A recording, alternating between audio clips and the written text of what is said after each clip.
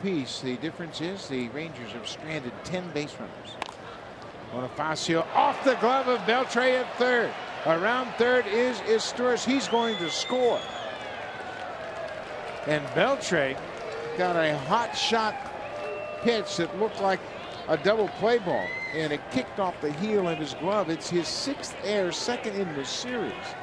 And 44th error for the Rangers this season. You don't see it very often. He's so sure-handed at third base.